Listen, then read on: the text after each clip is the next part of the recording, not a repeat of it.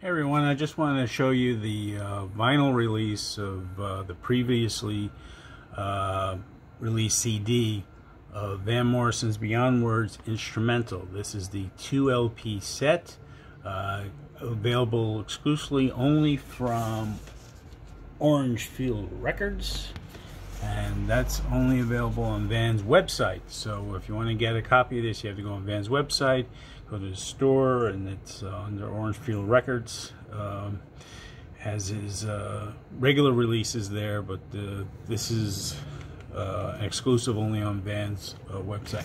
I do not believe you can get it anywhere else. Uh, somebody let me know if, you, if, it is available someplace else, but I don't.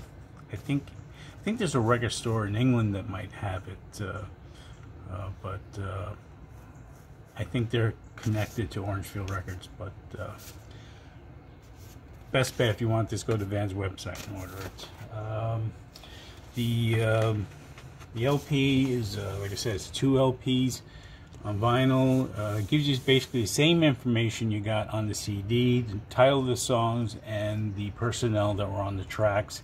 Doesn't give recording dates, um, but you can sort of deduce where the uh, the the uh, the time of the tracks when they're recorded um, by the personnel on there if you're really into that type of thing. A lot of the tracks were recorded during the inarticulate speech of the heart sessions, which uh, I heard uh, from somebody years ago that there was a lot of stuff recorded during those sessions. So uh, it would appear a lot of them were instrumental, and they made their way onto the album, on, onto uh, um, onto this. And I still think there's probably more that were recorded and are out there, so maybe we'll see those later. There's a bit of a, a shine off the uh, the uh, the instruments on here, which is nice. This is a regular matted feel of a record, but this has a little glossy feel, so there's a little shine off of it. Same here, so it's very nice. It's well uh, uh, put together. Um, you know, um, the uh, packaging, the, uh, the, LPs come in these nice uh, um, uh, thick paper uh, sleeves. It's not flimsy. Um, so uh, it's it's well put together. this is the LP. This is I think this is uh, LP1 and uh, good old black vinyl.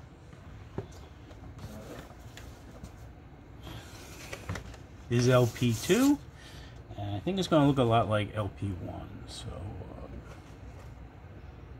uh, all the tracks that uh, uh,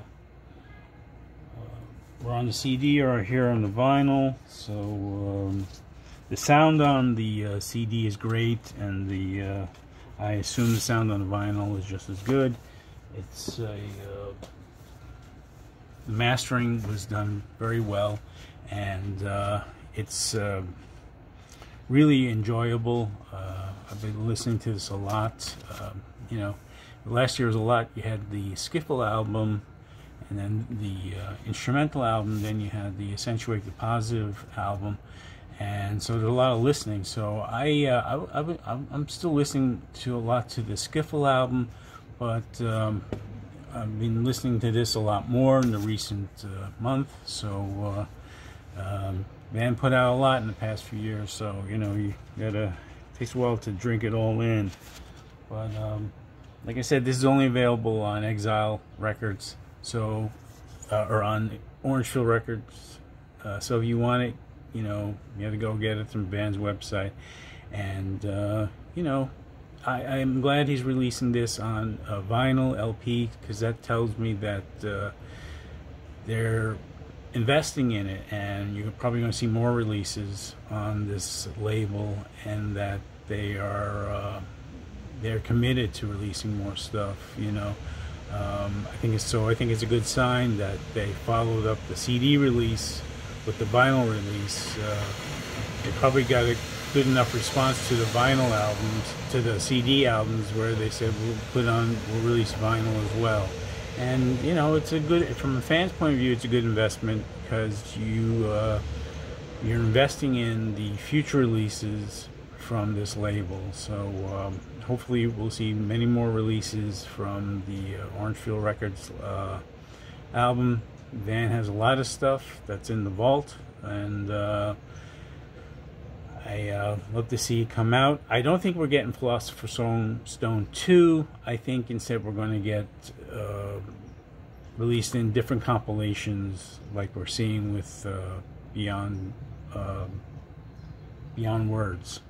So, um, and uh, so just be patient. You know, Van's still releasing original material, so, you know, I think, you know, he'll release the uh, archival stuff when it's uh, when there's no uh, original album to be released.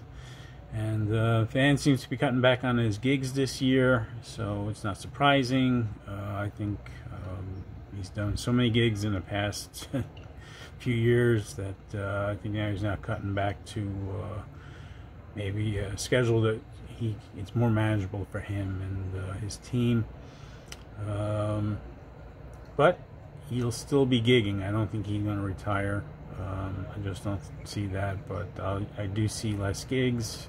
Um, so, uh, but we'll definitely see more original material and uh, more archival releases. All right, thanks for watching.